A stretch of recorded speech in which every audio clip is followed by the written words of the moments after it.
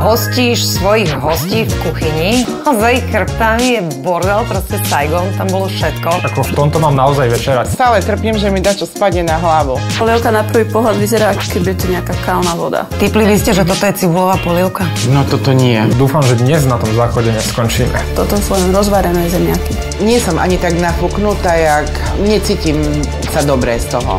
Na žalúdok mi nie je dobre. Mne to tiež nachutilo. Nachutilo mi to celé zle. Bez servítky. Dnes o 17.50 na Jojke.